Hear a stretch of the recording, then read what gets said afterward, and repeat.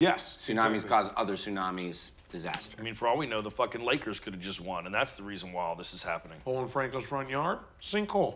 Every single time I turn on the news, sinkhole in South America, a bunch of South Americans getting sucked into the ground. Sinkhole de Mayo. Sinkhole de Mayo, that's why it's named that, because Yeah. sinkholes happen in the summertime. Ah, it's not wildfires, it's not earthquakes, it's not sinkholes. I, I think I know what it is. Let's hear it. I think it's the apocalypse. I'm serious, boys. It's all in here. Hmm. In the book of Revelations. Hmm. You took my Bible? Well, just hear me out and you tell me that what I'm describing isn't what's going on right now. and the skies shall open up, and the light of the Lord shall shine down, and those of good heart shall be brought into my kingdom of heaven. That's the rapture. Those are the gigantic beams of blue light.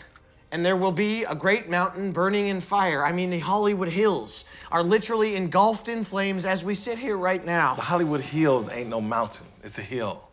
Takes about 10 minutes to get across that motherfucker with no traffic. Coldwater. I take Laurel Canyon. Cahuenga. I usually Cahuenga. Boys, can I just I do fucking Laurel finish? Canyon. I love Laurel Canyon. And out of the pit rose a great red dragon having seven heads, that old serpent called the devil and Satan, which deceiveth the whole world, was released unto the earth. I love that dude. He's from Where the Wild Things Are. It's a little bullshit. It's not bullshit. You wanna know something else, Jay? If this is the end of the world and all the good people died, what you're saying is Seth, me, Jonah, Craig, and Danny are a bunch of assholes. I'm straight up lovable, son. Yeah. And if this really is the apocalypse, you're here too.